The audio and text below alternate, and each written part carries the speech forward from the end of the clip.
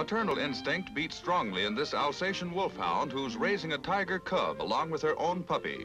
She has nothing but motherly affection for Lida, offspring of a tiger mother in Leiden, Holland.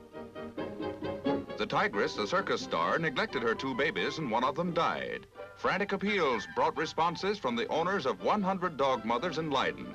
So you could say the Alsatian is one dog in a hundred. The little cub would agree with you. They're friends for now, but not for long.